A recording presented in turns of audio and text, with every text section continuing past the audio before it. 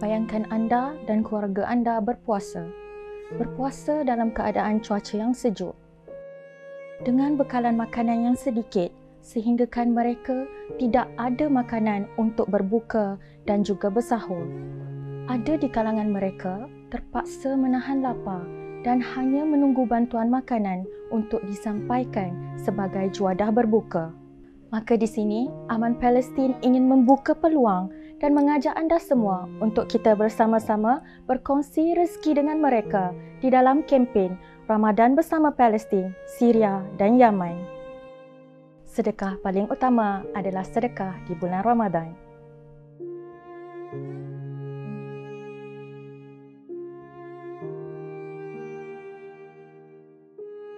thank you